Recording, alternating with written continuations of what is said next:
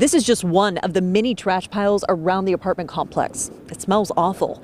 And the nearby daycare says some people will come by and dump their trash, and some will even light it on fire. When you go to our playground, you just see mounds of trash, and it's horrible smells. Chrysta Koskei with the Little Lynne's Daycare says it's time to clean up the Creekside apartments next door. The units near Southwest 59th and Agnew are owned by California based Capital Homes Investment LLC and currently going through foreclosure. Koskei says trash pickup stopped happening a few months ago. Then people started burning it. The dumpsters got removed maybe two to three weeks ago uh, because of the fires. Um, the city doesn't come out to dump the trash. So I don't know who does it, but they come and set the trash on fire. Many still live at Creekside, rent free and without utilities. Many of the constituents don't have any other choice in this day of inflation. Democratic Representative Mickey Dollens has been advocating for his constituents there for a year. It's inhabitable,